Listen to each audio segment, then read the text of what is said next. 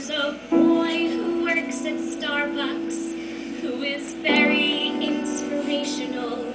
He is very inspirational because of many things. I walk in at 8:11 and he smiles and says, "How are you?" when he smiles and says, "How are you?" I could swear my heart grows wings.